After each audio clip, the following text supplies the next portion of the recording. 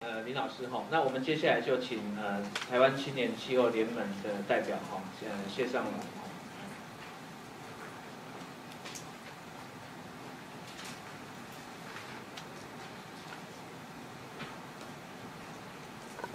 OK，大家好，喂，好，大家好，那呃我是呃来自台湾青年气候联盟的阳明医学系大四的谢尚荣。那呃我们台湾青年气候联盟是一个由青年自主成立的一个环境 NGO。那我们呃最早开始的时候就是呃我们的创办人去参与了联合国气候变迁大会，然后他发现到其实在那边各国的青年团体有呃非常积极的在游说各国在参与气候变迁的的会议，然后呃借由 action 和 intervention 去呃想要去创造更多的改变，那就那他希望我们希望可以带领更多的台湾年轻人去关心气候变迁的议题，所以我们在二零一零年的时候创立了台湾青年气候联盟。那这今年是我们第六年参与呃联合国气候变迁大会。那大家知道，今年是一个很重要的一年，今年要签订就是一个会影响未来全球呃三十年的甚至五十年的一个巴黎协议。所以我们今年事实上很非常积极的在呃谈判会场做了非常非常多的记录。那今天想要跟大家分享一个我们在当时记录的一个影片。呃，我把我把它定义叫做 The Power of Civil Society，就是它是呃联合国大概这有史以来第一次的公民团体在大会会场里面发起的一个一个。呃，气候游戏，那呃，我先呃，想先给大家看呃，观赏我们的呃一个记录。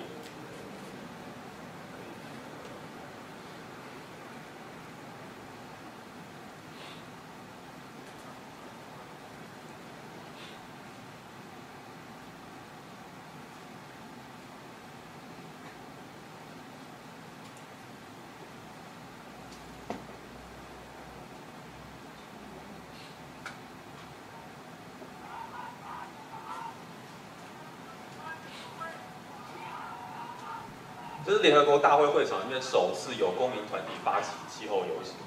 那呃，这是在这是在最终草案呃出炉的前前一天发起的一个游行。那主要是因为公民团体认为今年的谈判太令人失望，我们希望的人权相关的法案、相关的条约，呃，包括气候正义，甚至是一个有明确时间表的减量目、减量时程都没有被放进今年的协议中。所以我们希望可以让各国代表更更了解到，呃，岛国人民他们的心声，还有公民团体对于这次气候气候协议的一个期待。所以我们在场内发起了这样子的一个游戏。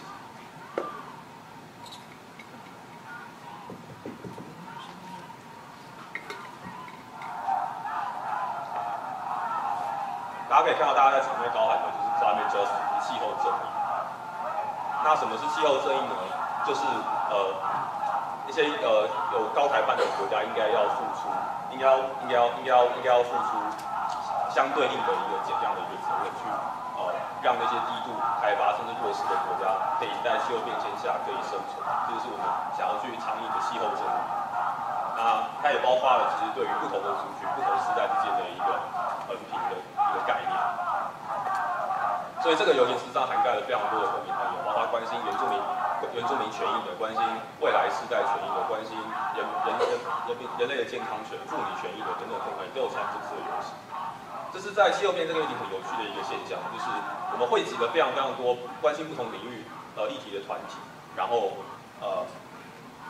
在气候变迁大会这个场合，众共同的由气候变迁这个议题开始，然后去呃为自己关心的那个议题发声。我觉得这个是在气候变迁大会里面公民团体一个很有呃。一个这一个很有趣的一个现象，我觉得是呃我很感动的一个地方。可以回到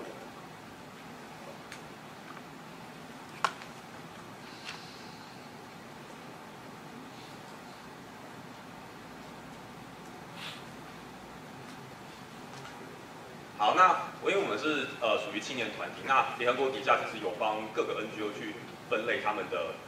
呃。帮 NGO 分类，分成九种不同的 constituency。那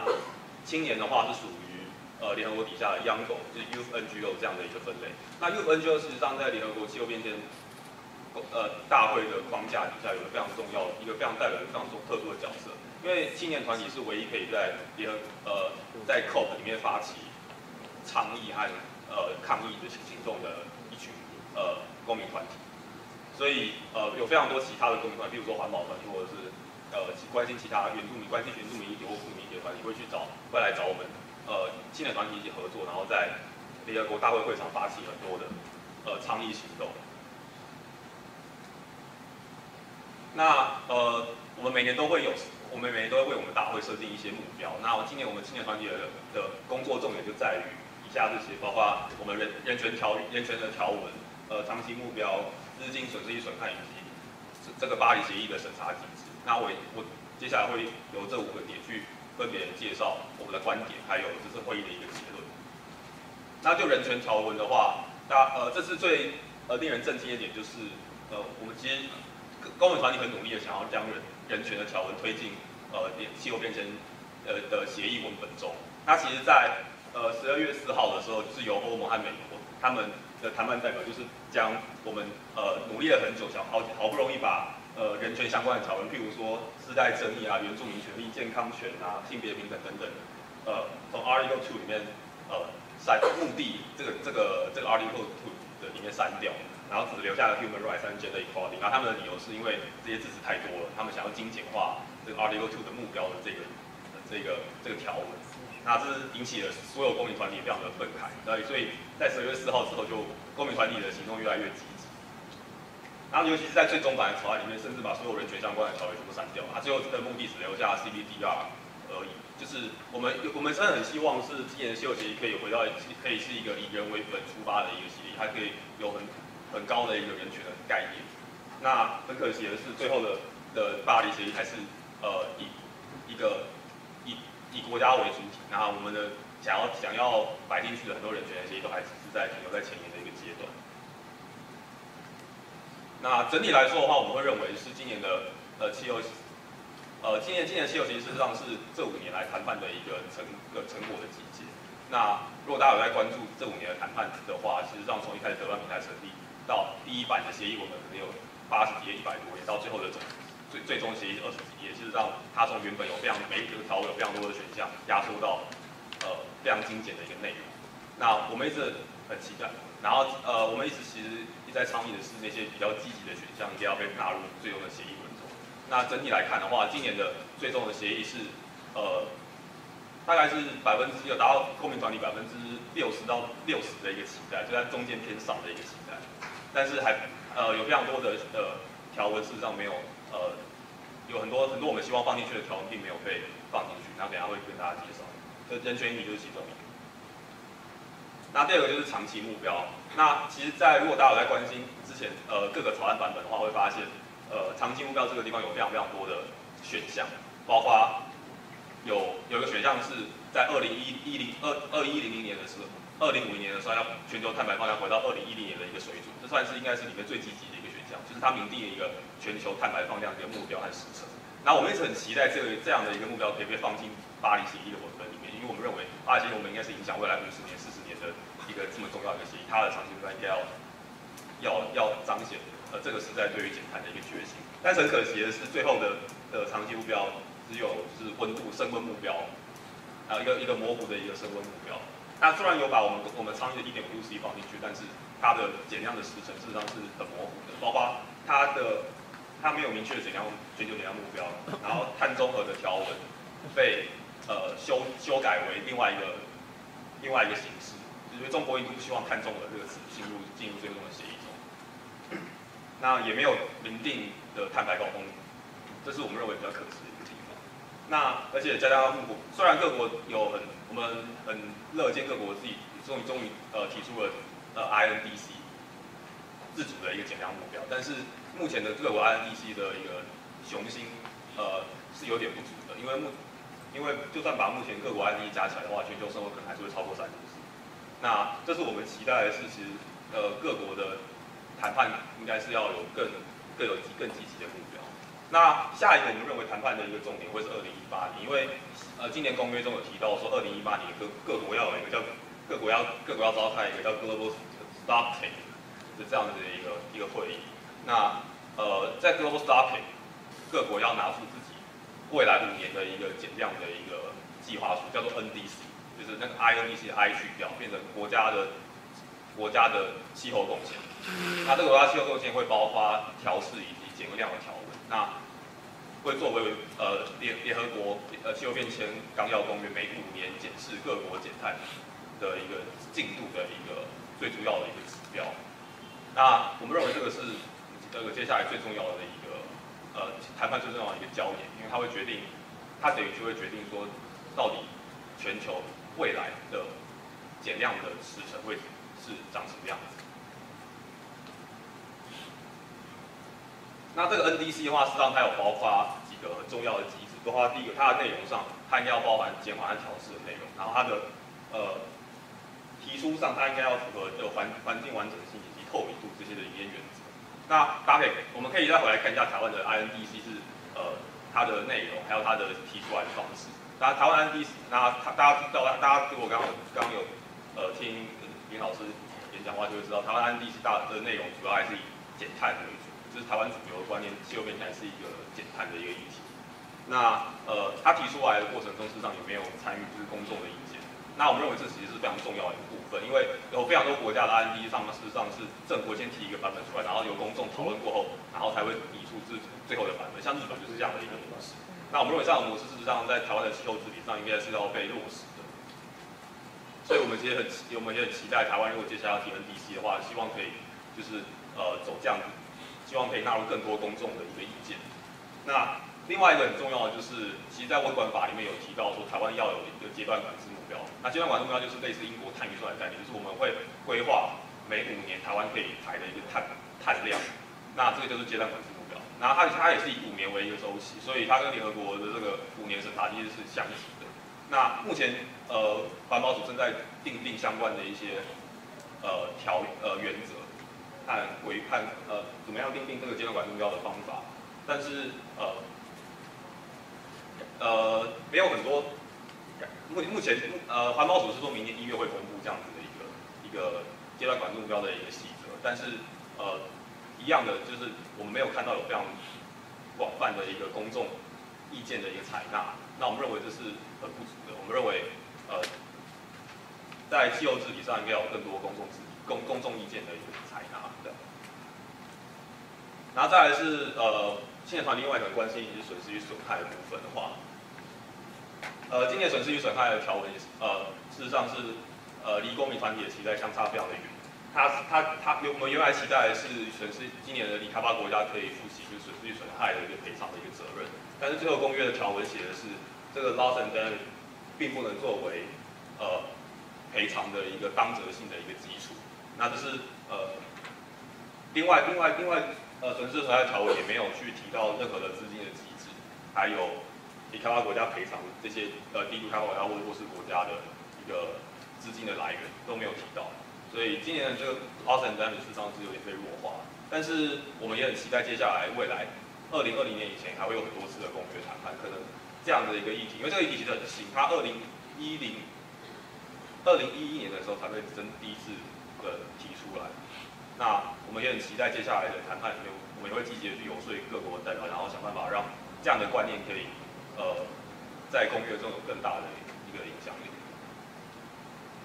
最后这个资金的部分，刚刚指导说提到说今年有非常多的一个资金的一个 commitment，但是它其实离呃离它的协议里面写到的每年一千亿美金的汽油基金，事实上还有很大很很大的一个一层成长很大的一个距离要去努力。那呃，目前各国对资金的承诺事实上并没有那么的高，对。那另外还有一个一个很重要的点是，目前资金的形式实际上并没有，还有它的规范并没有明确。譬如说，各国可以用什么样的方式来投资这个气候基金？是呃现金吗？还是股票？还是借借贷？到底这个资金要用什么样的形式去？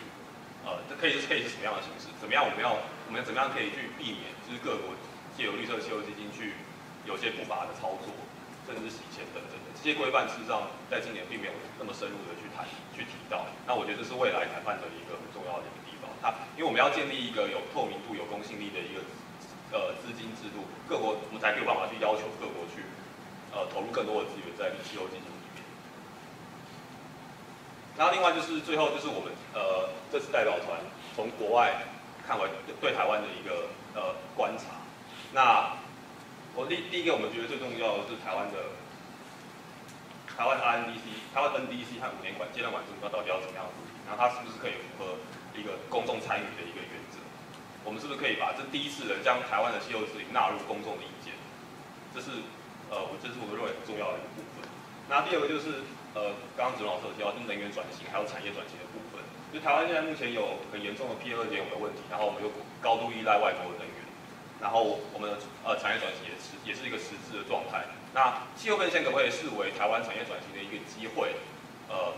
让台湾的绿色产业可以可以呃有更好的发展。那看呃我们有很多，其实我们还有很多政策工具可以运用，包括刚刚主任老师有提到的呃化石燃料补贴的改革，还有甚至能源税，还有电价电业法的改革，这些都是我们可以运用的政策工具。那这些政策工具里面，我们在我们在使用我们在讨论这些政策政策的时候，是不是都有把气候变迁、把减碳放在一个很核心的概念？甚至是现在台湾有很多的高耗能产业的政策环评还没有还在还在这个讨论的阶段。然后这些这些政策环评是不是有把台湾未来的五年阶段管制目标，甚至是气呃台湾 NDC 的一些呃 commitment 带进去？这都是呃这都是呃未来在这些政策里面是扮演非常非常重要的一个角色。再来的话就是。呃，其实今年公约有提到非常多调试的一个这个问题。那台湾事实上被世界银行评比为是呃全球脆弱度呃名列前茅的国家，但是我们的呃气候变迁的立法里面，事实上调试是调试一直是一呃很缺乏的。那目前只有国发会提出了一个调试纲领。那未来的话，调试可不可以成为是一个施政有一个必须要考量的一个核心？就像就像譬如说政府的呃采购法里面是不是？应该要考量调试，我们就可能就不能用最低标的方式来去呃呃进行我们的公共建设，我们应该要考量更多更具韧性的一个一个公共建设的方式等等，甚至是调试法的立法，这些都是我认为台湾未来要去呃在气候政策治理上应该要更努力的一个方向。然后最后就是青年还有公民团体在气候呃台湾在全球气候的谈谈判上应该要扮演什么样的角色？那呃，事实上我们有去访问非常多的国外的一些呃与会的代表或者是青年，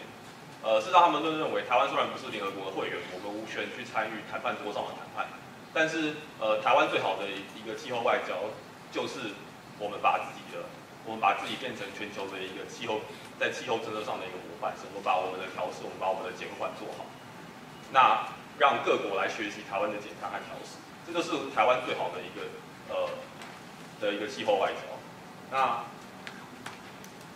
我们我我我认为这句话其实非常的贴切，因为我们的环保署呃每年都会去参与气候变迁大会，但是我们其实很少去审视到底台湾自己自己到底做了多少，到底做的有多好。我觉得把呃我们认会认为，其实回归到台湾自己本身在减碳和呃和调试上的一个政策，去把呃自去把台湾的政策做好，事实上对于。我们的政府来，我们的我们的不管是外交，我们在谈判的困境上是最重要的一件事情。好，那呃，其实我们今年在会场里面进行了非常多的行动，包括我们有参与呃亚洲青年的一个共同的一个论坛，然后有发表呃亚洲青年的一个宣言，去呃呃倡议化石燃料补贴的的去除。然后另外我们有参与非常非常，你们如果大家可以在网上看到非常非常多的。呃呃呃，公民团体的抗议新闻中都会看到，就是有台湾人的声音，但事实上都是我们啊，大部分都是我们。对，然后我们有参与，就是制作，就是包呃很多工作小组的一些文宣啊，还有呃海报等等的。